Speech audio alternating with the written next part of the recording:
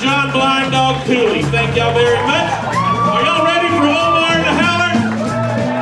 That's what I'm talking about. Remember, check us out at blinddogcooley.com. We hope to see you again, and we thank you so very much for letting us do a few for you. Good show tonight. One of my heroes, Omar and the Howler. Gonna be awesome. Thank you very much.